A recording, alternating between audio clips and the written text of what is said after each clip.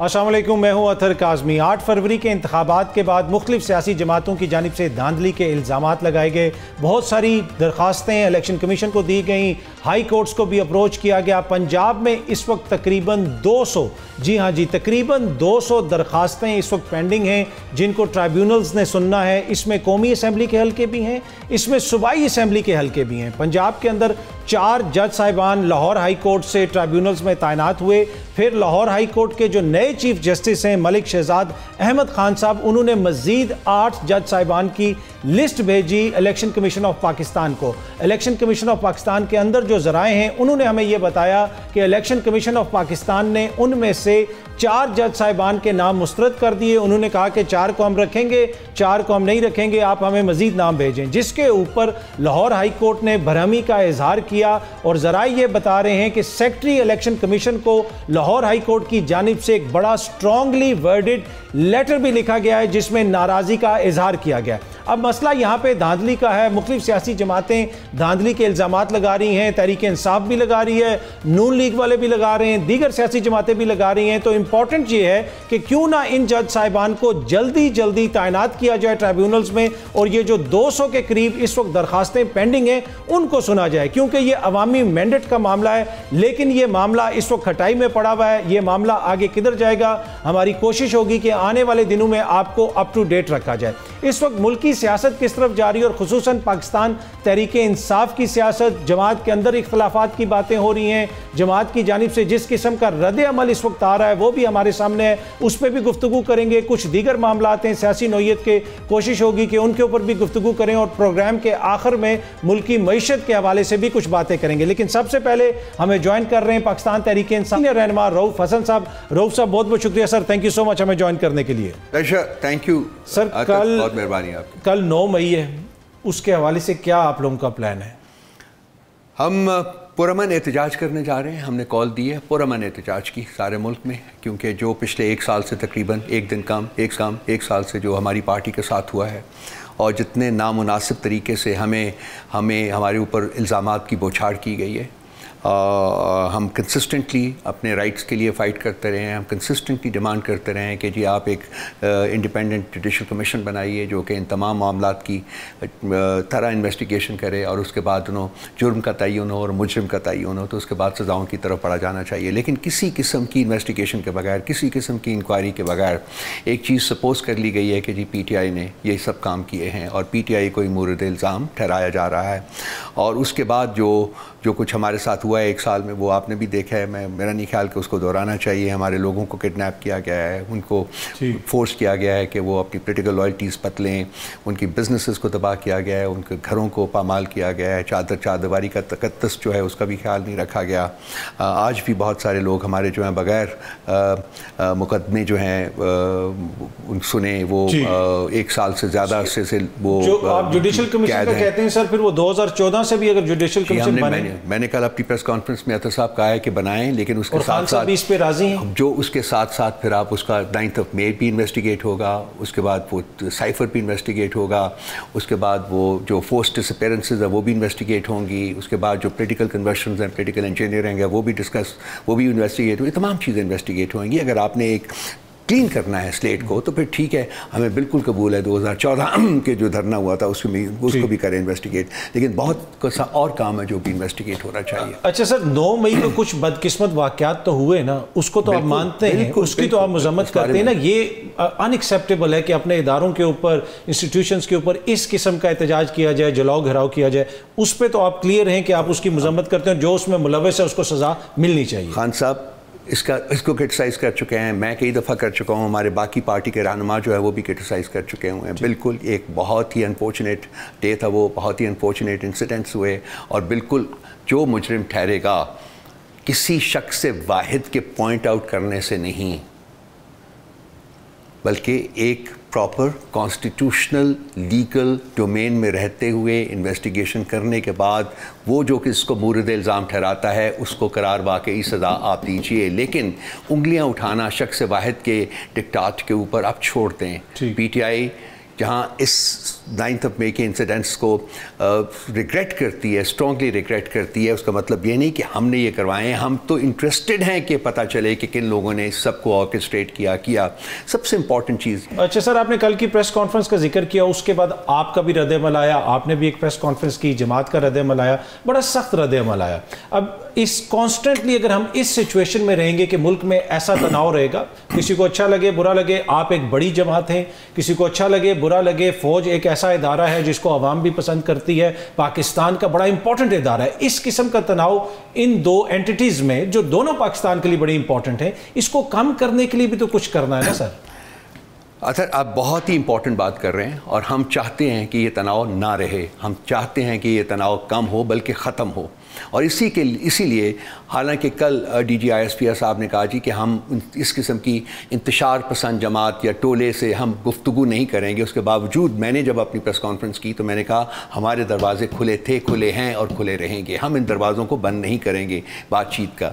और बात अल्टीमेट तरीका एक ही है मामला को हल करने का कि आप और मैं और जो फ्यूडिंग पार्टीज़ हैं वो बैठ के आपस में बातचीत का आगाज़ हम्म। करें। और इस अमल को जारी रहना चाहिए। अनइंटरप्टेड एंड अनइंटरप्टेबल होना चाहिए। जब तक ये सब मसाइल जो हैं उनको हल नहीं किया जाता। बिल्कुल सही आपने कहा, ये तनाव की कैफियत जो है, ये रियासत के लिए, आवाम के लिए सब के लिए बहुत डैमेजिंग है और ये मुल्क आगे नहीं बढ़ सकेगा। मैं बावर करवाना चाहता हूँ जिनके पास इस वक्त ताकत है, जो पावर वील्डर्स हैं, कि आप जो मर्ज़ी कर लें, उस वक्त जब तक पोलिटिकल स्टेबिलिटी मुल्क में नहीं आएगी। उस वक्त तक मुल्क आगे नहीं बढ़ सकता और उस पोलिटिकल स्टेबिलिटी की एक मेजर कंस्टिट्यूंट जो है वो पाकिस्तान तरीके इंसाफ हैं। सो उंगलियाँ उठाना छोड़ के बैठ के बात करें और मामला का हल करें। जुडिशल कमीशन बनाइए उन्होंने आपने खुद माना है उन्होंने D G I S P साहब ने माना है। हमने उनकी इस, इस ऑफ़र को कबूल किया है और हमने कहा है कि जी सब कुछ करें जो आप कह रहे हैं और ये चीज़ें चंद हैं ये भी सर आ, उन्होंने तो एक और ग्रेशियसली एक और भी बड़ी ऑफ़र की कि जो लोग मुलविस हैं वो इस पर माजरत करें और कौमी धारे का हिस्सा बने तो ये भी तो एक चीज़ टेबल पर है। देखिए पहले तयन तो हो जाए ना कि किन्होंने किया? अगर उसके बाद जिस पार्टी को भी मुर्द इल्ज़ाम ठहराया जाएगा फिर उसको आप ऑप्शन दे सकते हैं। वैसे तो कानून को हरकत में आना चाहिए। कानून जो है उसके मुताबिक उनको सजाएँ मिलनी चाहिए। लेकिन पहले तयन तो हो जाए ना। अगर आप तयन होने के बगैर किसी को मुरद इल्ज़ाम ठहराएँगे किसी एक प्रॉपर इन्वेस्टिगेशन के बगैर आप मुरद इल्ज़ाम ठहराएँगे तो उसको कोई नहीं मानेगा। हम भी नहीं मानेंगे। हम नहीं मानते उस चीज़ को। मैंने बारह कहा है शख्स वाहिद की डिक्टाट नहीं चलेगी शख्सी आमरीत नहीं चलेगी जमहूरियत चलेगी। कहते हैं जमहूरियत को कोई ख़तरा नहीं। तो मैंने अर्ज़ किया कि चीज़ उसको ख़तरा होता है जो चीज़ मौजूद हो तो मौजूद ही नहीं है इस मुल्क में। इस वक्त तो यहाँ शख्सी आमरीत चल रही है। तो जमहूरियत लाने तो दें आने तो दें ना। और जमहूरियत कैसे आएगी? जब आप मामला का जो हल है वो कानूनी तरीके से निकालने की कोशिश करेंगे। आईनी तरीके से निकालने की कोशिश करेंगे। अच्छा सर इस वक्त आपकी जमात के अंदर भी तासर ये है कि इख्तलाफात हैं। मुख्तलिफ़ लीडरान एक दूसरे के खिलाफ बयान भी दे रहे हैं। पब्लिक अकाउंट्स कमेटी का जो मामला है हमारे सामने इसकी क्या वजह है? अगेन वो लैक ऑफ़ कम्युनिकेशन है या किसी चीज़ के ऊपर आप लोग एग्री क्यों नहीं कर पा रहे? पहले एक शख्सियत का नाम शख्सियत का नाम आता है फिर दूसरी शख्सियत का नाम आता है। देखिए कोई let me be very candid about it कोई इख्तलाफात नहीं है। देखिए डिफरेंस ऑफ़ ओपिनियन होता है पार्टी के ऊपर, इतनी बड़ी पोलिटिकल पार्टी हो तो उसमें तो अपनी आरा होती हैं। तो वो उसका एक प्लेटफॉर्म हमारे पास, बल्कि प्लेटफॉर्म्स मौजूद हैं।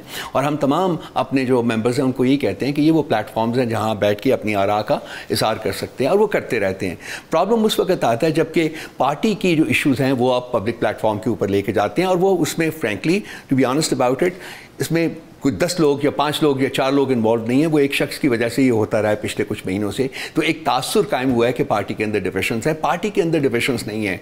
यस ये जो साहब हैं इनके प्रॉब्लम इनके इशूज़ थे जो कि time to time public domain में आते रहते थे क्योंकि ये स्टेटमेंट्स पब्लिक डोमेन में देते थे। तो वो मेरा ख्याल है कि मामला हल हो गए हैं इन द सेंस के जी पैक के जो चेयरमैन का नाम भी जो फाइनलाइज कर दिया खान साहब ने, वो वकास शेख साहब का नाम जाएगा, चला गया बल्कि। और बाकी भी जो चीज़ें आज खान साहब, आज इन्होंने शेर साहब ने, शेर अफजल साहब ने फिर मुलाकात करने की कोशिश की, लेकिन खान साहब के पास मेरा ख्याल अपनी प्रायोरिटीज़ हैं, वो नहीं मिले। कोई उनको मुलाकात से नहीं रोक रहा। ये खान साहब के फैसले सर उन्होंने तो बड़े इल्ज़ाम लगाए कि कुछ शख्सियात रोकने की कोशिश कर रही हैं उमर अयूब साहब के साथ काम नहीं करूँगा शिबली फराज साहब के साथ काम नहीं करूँगा तो उनका फिर पार्टी में क्या स्टेटस रहेगा अगर वो इस तरीके से अलहदा काम कर रहे हैं? क्या उनको कोई शोकाज वगैरह होगा या क्या होगा ये देखिए उनकी अपनी डिस्कशन है जो हमें पता चलेगा अगर फॉर्मल बेसिस के ऊपर कुछ पता चलता है तो पार्टी का जो जो एक मैकेनिज्म है वो हरकत में डेफिनेटली आएगा। बाकी वो एक पार्टी के मेंबर हैं। इस वक्त वो पार्टी के एक member of the national assembly हैं। तो हमारे लिए वो काबिल एहतराम है। हम लाजमी बात है उनके साथ डील करते रहेंगे जब तक कि वो अपना कोई और स्टेप जो कि उन्होंने जिसकी इंडिकेशन अपनी प्रेस कॉन्फ्रेंस में दी है वो लेते हैं। जब वो लेंगे कोई और स्टेप लेंगे तो फिर उसी के मुताबिक जो पार्टी का जो मैकेनिज्म है वो हरकत में अच्छा सर रिसेंटली उमर यूब साहब की आपकी और दीगर सीनियर लीडरान की अमरीकी सफ़ीर से भी मुलाकात हुई। उसके बाद लगा इस तरह के जमात जो है वो बैक फुट पे चली गई है। हालाँकि ये तो एक इंट्रैक्शन थी, एक हुकूमत की, उस जमात के साथ जो पाकिस्तान की सबसे बड़ी जमात है। तो वो ऐसा क्यों लगा कि इसके ऊपर वो वजातें दे रहे हैं कि जनाब, उधर से हमें रिक्वेस्ट आई थी, वो हमसे मिलने आए थे। अमेरिका की हुकूमत है, जमहूरी हुकूमत है, आप लोग एक जमहूरी जमात हैं, इसमें तो अनअपोलोजेटिकली आपको मिलना चाहिए उनसे। बैकफुट के ऊपर तो हम बिल्कुल नहीं हैं लेकिन चूँकि कुछ क्वेरीज आई थी तो हमने उनको एक्सप्लेन कर दिया था कि ये मुलाकात इस तरीके से हुई है। यानी के इनिशिएटिव जो था वो अमेरिकन एम्बेसडर का था और उन्होंने फॉरेन ऑफ़िस के थ्रू जो प्रॉपर चैनल होता है उसके थ्रू उन्होंने रिक्वेस्ट भिजवाई थी। फॉरेन ऑफ़िस को उन्होंने लीडर ऑफ़ द अपोजिशन को कंसल्ट करके एक तारीख मुकर की हमने मिले। बिल्कुल बैकफुट के ऊपर नहीं है। हम एक जमहूरी जमात भी हैं और हम एक हुकूमत में रही हैं and we are the government in waiting आज ये जो करेक्शन हो जाती है जो कि प्रोसेस इनिशिएट हो गया सुप्रीम कोर्ट में से तिहत्तर सीटें जो हैं रिज़र्व सीट्स जो हैं अगर इनके ऊपर फैसला आ जाता है हमारे हक में तो हम हम गवर्नमेंट बनाने की पोजीशन में आ जाएँगे। सो हम्म। हमें कोई किसी अपने आप को डिफेंड करने की ज़रूरत नहीं है। अमेरिका एक बड़ी पावर है। अमेरिका के साथ पाकिस्तान के दरीना ताल्लुक हैं। अमेरिका के साथ अमेरिका पाकिस्तान का सबसे बड़ा ट्रेडिंग पार्टनर है।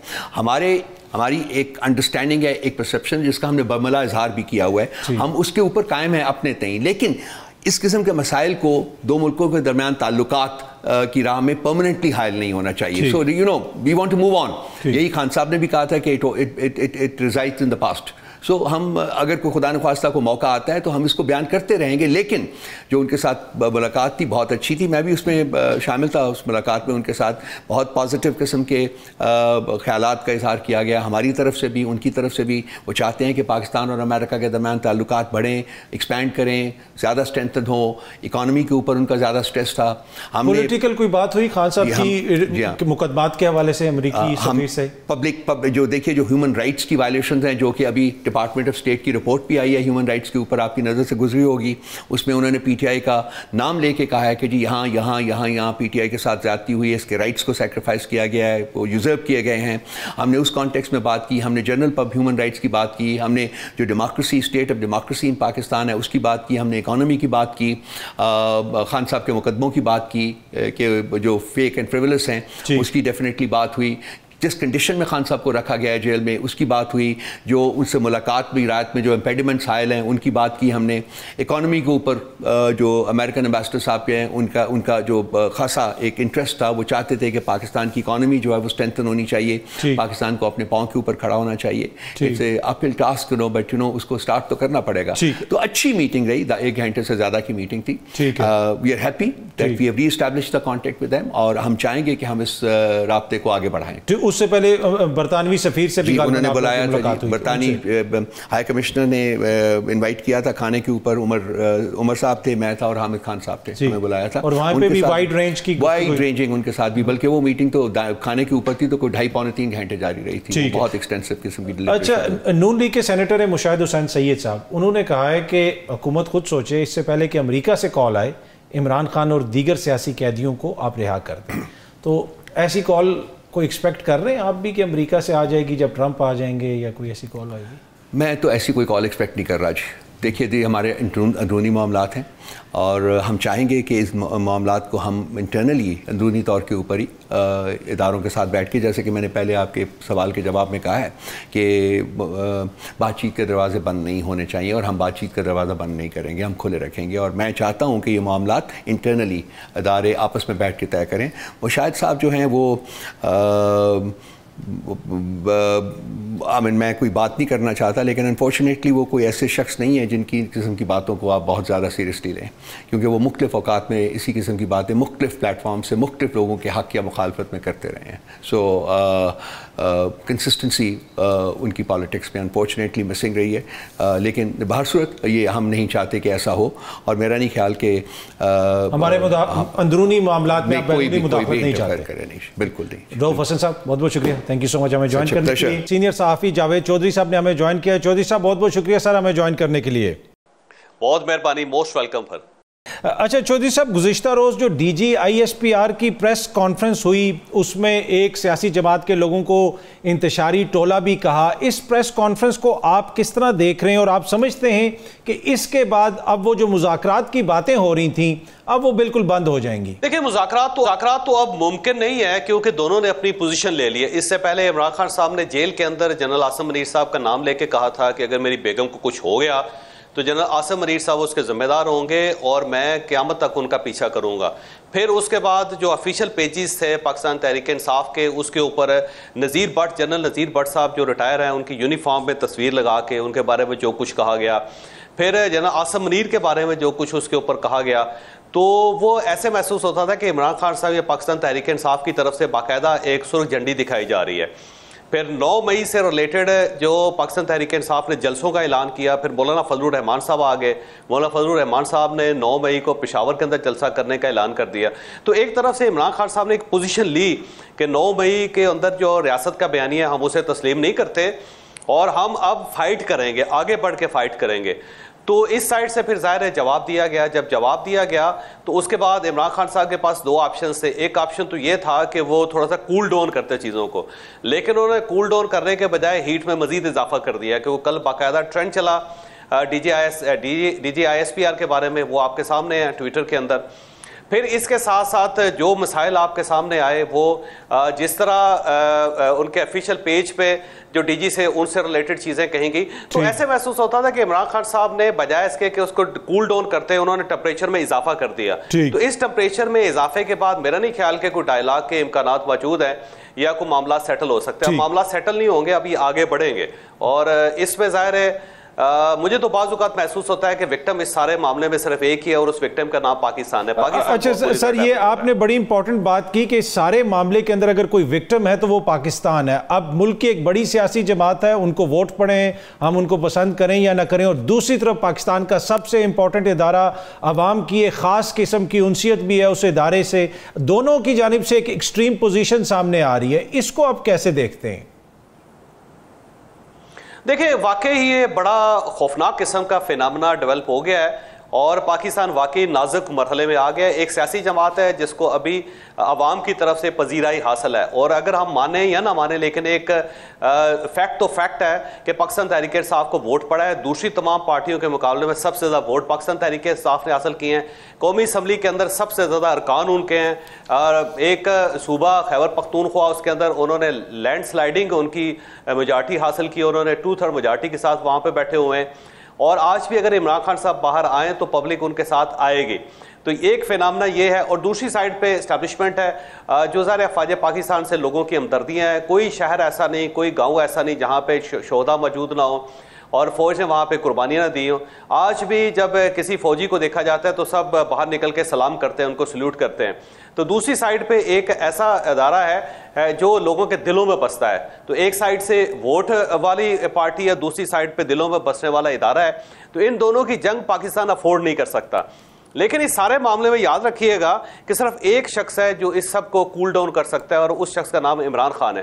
क्योंकि इस साइड पे जो स्टैब्लिशमेंट है, वो पूरा इदारा है, बल्कि कई इदारों का एक मजमू है, वो एक शख्सियत नहीं है।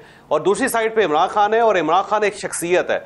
वो अगर आज भी चाहें तो इस सारे मामले को सेटल कर सकते हैं। वो ये ऐलान कर दें कि जनाब हमारा जो क्लेम है, वो ये है कि आठ फरवरी के इलेक्शन में हमें हराया गया है और एक सौ अट्ठावन हमने एप्लीकेशन दी हुई हैं, हम वहाँ पर फाइट करेंगे। कौमी असम्बली में हम अपोजिशन है। हम एक मज़बूत और ज़बरदस्त किस्म की पॉजिटिव अपोजिशन का किरदार अदा करेंगे। खैबर पखतूनख्वा के अंदर हमारी गवर्नमेंट है और हम वहाँ पर साबित करेंगे कि वो पाकिस्तान की सबसे बेस्ट गवर्नमेंट है। और अब हम लड़ना नहीं चाहते हम इसको जो प्रोसेस है इसको आगे लेके बढ़ना चाहते हैं। सिर्फ़ एक ऐलान करने की देर है और उसके बाद मामला सेटल हो जाएँगे। लेकिन इमरान खान साहब की तरफ़ से एक जिद का मुजाहरा किया जा रहा है कि जनाब मैं नहीं तो पाकिस्तान नहीं पाकिस्तान नहीं तो मैं नहीं। तो ये जो जिद है उसकी वजह से सारे मसाइल पैदा हो रहे हैं। तो मेरा ख्याल एक बड़ा दिल इमरान खान साहब की तरफ़ से करना पड़ेगा उन्हें अल्टीमेटली कभी ना कभी बैठ के। और अगर वो नहीं करते तो इस साइड से मेरा नहीं ख्याल के कोई तोपों तोपे बंद होंगी या खामोश होंगी क्योंकि यहाँ पे एक फर्द नहीं है वहाँ पे एक इदारा है। तो इदारे में तो फ़र्ज़ चलते जाते हैं लोग आते हैं लोग चले जाते हैं लेकिन इदारा तो अपनी जगह कायम रहता है। तो एक है। इदारे के साथ लंबी जंग मुमकिन नहीं है इमरान खान साहब के लिए। ठीक है। अच्छा सर एक जंग और भी चल रही है और वो तहरीक इंसाफ के अंदर चल रही है। पब्लिक अकाउंट कमेटी का मामला हो जाए पहले शेर अफजल मरवत साहब का नाम आया। आज तो शेर अफजल मरवत साहब ने कहा कि मैं एहतजाज नहीं करूँगा मैं इन लोगों को लीडर नहीं मानता मेरा लीडर सिर्फ़ इमरान खान है। तो ये जो जमात के अंदर जंग चल रही है इसको आप किस तरफ़ जाते हुए देख रहे हैं? देखिए अनफॉर्चुनेटली पाकिस्तान तहरीक इंसाफ एक पार्टी नहीं बन सकी। वो ग्रुप्स हैं और ग्रुप्स जो होते हैं वो प्रवेल कर रहे हैं। अब आपको याद होगा कि इससे पहले सियासी लोग थे और जब 9 मई हुआ या फिर इमरान खान साहब जब इकतदार से निकले तो सियासी लोग जो कार्नर हो गए वो साइडों पे हो गए कुछ लोग गायब हो गए कुछ लोगों को गिरफ़्तार कर लिया गया कुछ लोग जो थे कैद हो गए और उनको सजाएँ होना शुरू हो गई और कुछ लोगों ने पार्टियाँ छो, पार्टी छोड़ दी और वो गैर सियासी हो गए या फिर दूसरी सियासी जमातों में शामिल हो गए। तो जब एक वैक्यूम था, उस वैक्यूम को इमरान खान साहब ने वकला के ज़रिए फिल किया। उन्होंने हर वकील को काले कोट जिसने पहना हुआ था, या काले कोट वालों को ने कहा, जी, आप पार्टी के अंदर आ जाए। तो वो लोग आके जो मेन सीटें थी, उसके ऊपर बैठ के और वो पार्टी को रूल करने लगे। जब सियासतदान वापस आए तो उन्होंने देखा कि हमारी कुर्सियों पर तो दूसरे लोग बैठे हुए हैं। तो अब वो सियासतदान प्रेशर डाल रहे हैं कि इनको यहाँ से निकालें ताकि कुर्सियाँ खाली और हम उसके ऊपर बैठें।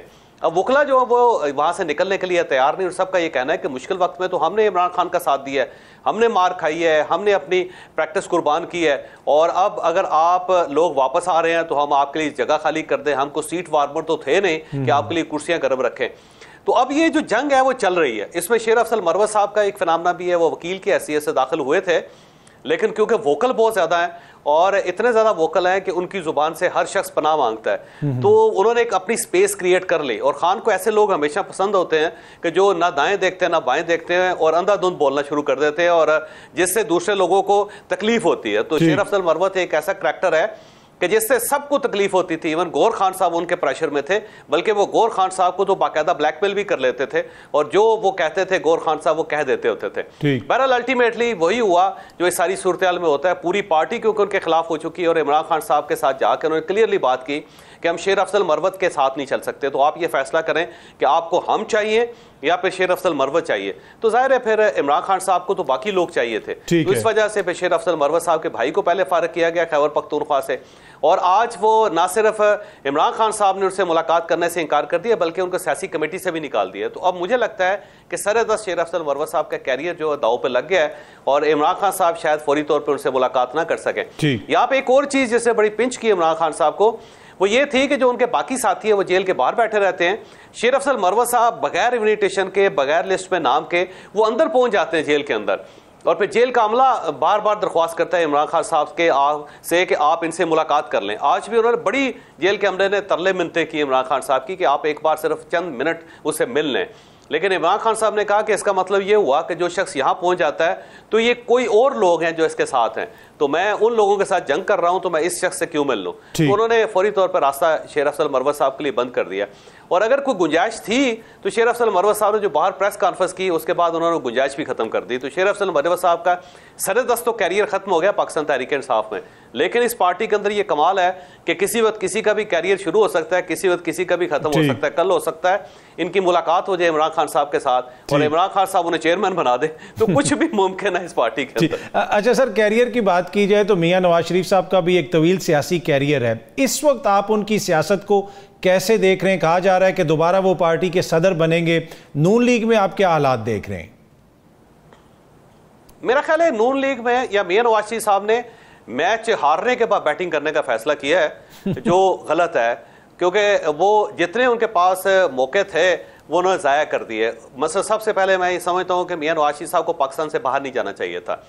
जितने भी अलील होते उन्हें यहाँ पे इलाज करवाना चाहिए। था जैसे इमरान खान ने देखे उनको भी ऑप्शन दिया जा रहा है। कई बार दिया है लेकिन वो जेल के अंदर कंफर्टेबल है। वो कहते हैं जी मैं यहीं रहूँगा और मेरी डेड बॉडी यहाँ से जाएगी। तो मियाँ नवाज़ साहब को ये फैसला नहीं करना चाहिए था कि मैं इलाज के लिए बाहर जाऊँ। और अगर वो चले गए थे तो फिर आठ हफ्तों में उन्हें वापस आना चाहिए था। ये जो उन्होंने एक गलत बयानी की और गलत फैसला किया उसका उनको नुकसान हुआ। फिर उसके बाद उन्हें 16 महीने की गवर्नमेंट नहीं लेनी चाहिए थी। और अगर उनके ऊपर प्रेशर था तो तब भी ना लेते तो फिर भी पार्टी बच सकती थी। लेकिन वो उन्होंने वो गलत फैसला किया और उसका खमियाजा भुगता। उसके बाद उन्होंने उन्हें फिर मियाँ शबाज शरीफ साहब को 8 फरवरी के इलेक्शंस के बाद प्राइम मिनिस्टर नहीं बनाना चाहिए था। अगर उन्होंने बनना था तो खुद बनते। फिर ये जो फायरिंग स्क्वाड है उसके सामने खुद खड़े होते। तो उसके बजाय उन्होंने मियाँ शबाज शरीफ साहब को उस कुर्सी पे बैठा दिया। अब उन्हें महसूस हो रहा है कि पार्टी उनके हाथ से निकल गई है। हम्म, हम्म। और अगला अगर इलेक्शन होगा तो पार्टी बिल्कुल ज़ीरो हो जाएगी। तो अब उसको बचाने की कोशिश कर रहे हैं लेकिन मेरा ख्याल इट्स टू लेट इतने ज़्यादा लेट हो चुके हैं कि अब इन बेरो को समेटना इतना आसान काम मियाँ नवाज़ साहब के लिए नहीं होगा। तो बड़ा सीरियस क्राइसिस है पाकिस्तान मुस्लिम लीग नून के अंदर। लोग भी नाराज़ है लोग साथ भी छोड़ रहे हैं। और जो लोग हैं वो कंफर्टेबल नहीं है अनकंफर्टेबल हैं। हम्म। और जो गवर्नमेंट चल रही है उस गवर्नमेंट से भी पार्टी मुतमिन नहीं है। तो क्राइसिस भी नवाज़ शरीफ साहब के लिए बहुत ज़्यादा है। अच्छा सर ये बात दुरुस्त है कि पार्टी को अपने दोबारा अपने कंट्रोल में रहने ले रहे अच्छा सर आपने कहा चल रही है उससे भी मियाँ साहब खुश नहीं है। वो हुकूमत कितनी देर आपको चलती हुई नज़र आ रही है? क्या शहबाज क्या शहबाज शरीफ साहब की हुकूमत इस वक्त कंफर्टेबल है? देखिए इस चीज़ ये चीज़ डिपेंड करती है इमरान खान साहब के रवैये पे। अगर इमरान खान साहब स्टैब्लिशमेंट से लड़ते रहे इसी तरह तो ये गवर्नमेंट चलती रहेगी। ये गवर्नमेंट ख़त्म नहीं होगी। क्योंकि इस गवर्नमेंट की अगर कोई बाइंडिंग है तो वो इमरान खान साहब का बयानी है। क्योंकि इमरान खान साहब है जिन्होंने सबको समेट के एक जगह पे बिठाया हुआ है और स्टैब्लिशमेंट को, ये रियासत को मजबूर किया हुआ है कि वो इनके सर पे हाथ रखें। लेकिन जिस दिन इमरान खान साहब का रवैया ठीक हो जाता है और स्टैब्लिशमेंट के साथ चलने का ऐलान कर देते हैं, वो अपना, वो अच्छा बच्चा बन जाते हैं और एक अच्छी सियासत करना चाहते हैं पॉजिटिव तो उसके बाद फिर इस गवर्नमेंट का जो दुरानी है वो कम हो जाएगा। फिर इमरान खान साहब को चांस मिल जाएगा।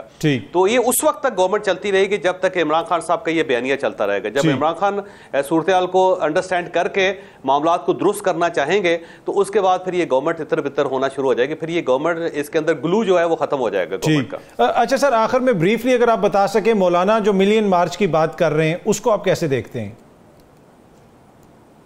देखिए मौलाना फजल रहमान साहब के पास स्ट्रीट पावर है। और सिर्फ़ एक ही पार्टी इस वक्त पाकिस्तान के अंदर है जो लोगों को सड़कों के ऊपर ला सकती है।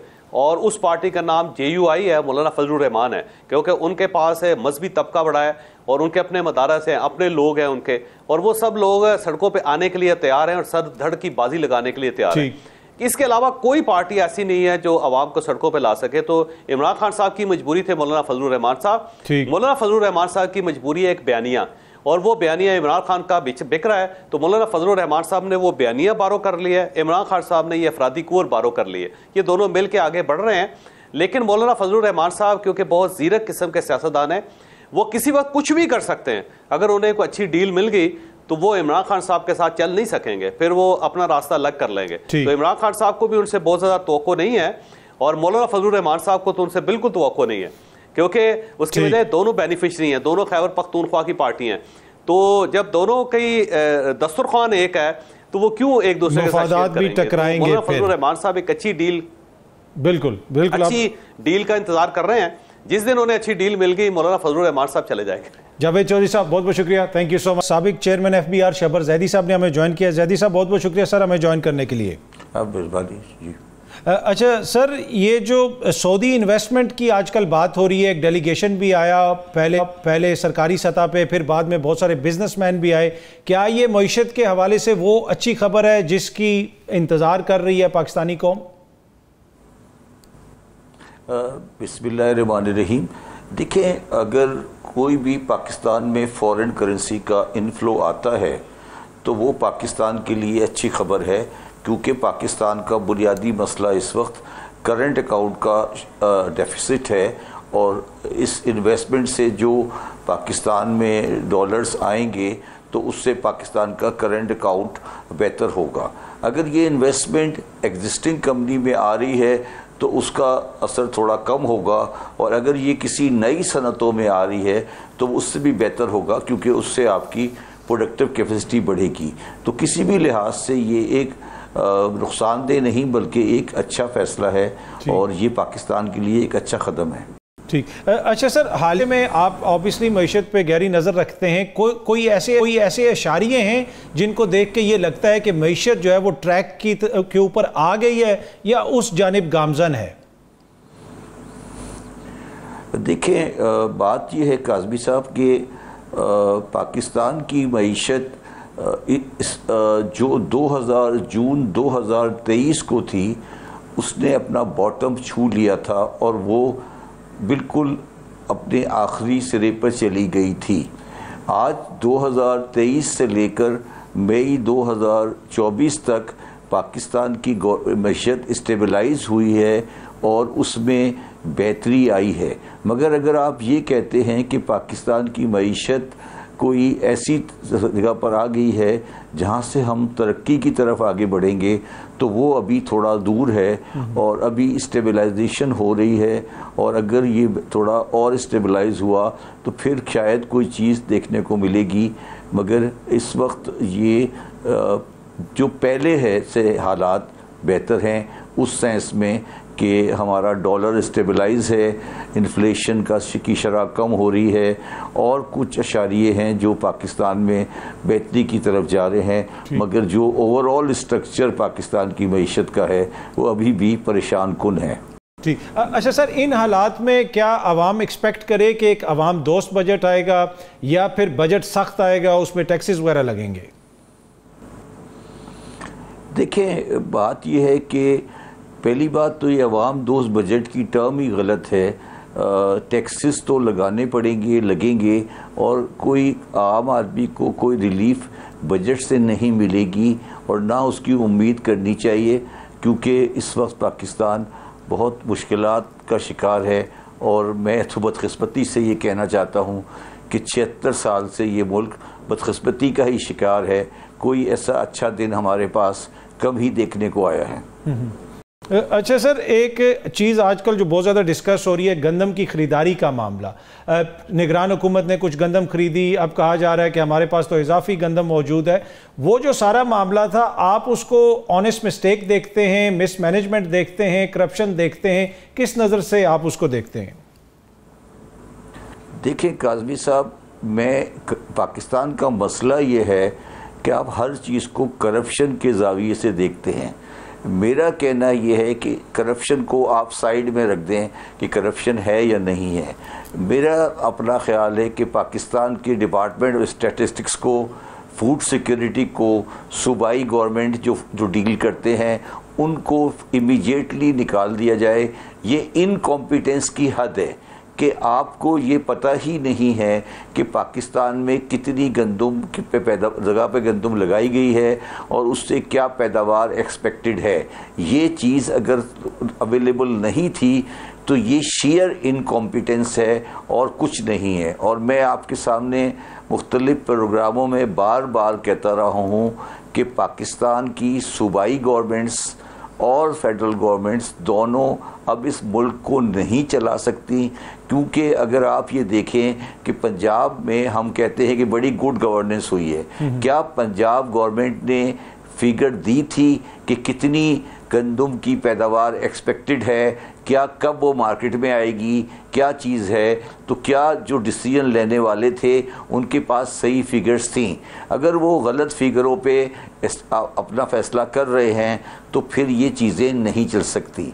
दूसरी बात हम एक चीज़ को भूल जाते हैं कि पाकिस्तान के साथ अफ़गानिस्तान का की जो मुसीबत लगी हुई है वो गंदम की स्मगलिंग का बहुत बड़ा ज़रिया है और हमारी गंदम अफ़गानिस्तान और अफ़गानिस्तान से आगे उज़्बेकिस्तान चली जाती है।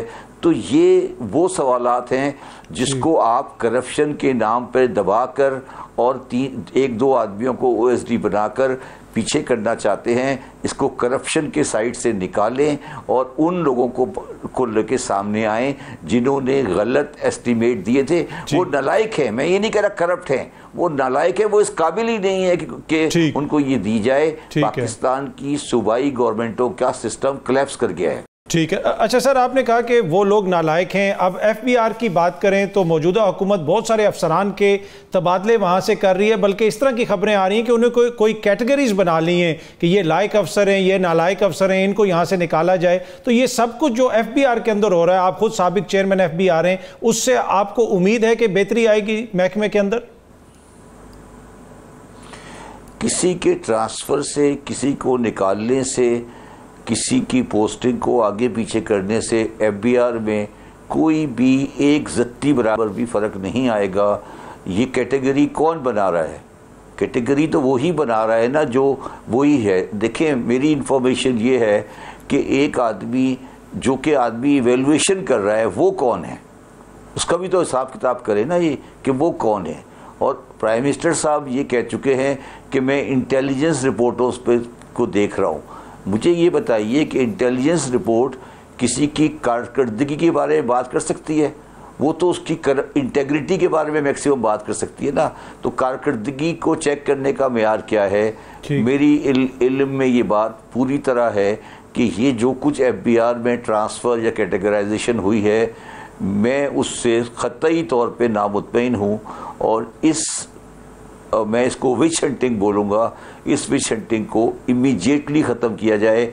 इस तरह से ये चीज़ें नहीं होती। ये भी एक तरीके से आप लोगों को एक एक ट्रैप में डाल रहे हैं कि देखिए जी हमने दस बंदे निकाल दिए बारह बंदे नए डाल दिए बीस को अवार्ड दे दिए। इस तरह इस तरह नहीं होती चीज़ें। ठीक है। ये ऐसा नहीं होता कभी। मैं जब चेयरमैन था मैंने कभी मैं आपको पता है जब मैं चेयरमैन था मैंने किसी का तबादला नहीं किया इस वजह से नहीं किया कि मुझे पता है अगर मैं एक एक करप्ट एक एक बंदा जो रिश्वत ले रहा है उसकी जगह पे दूसरा लगा दूँगा वो रिश्वत लेगा।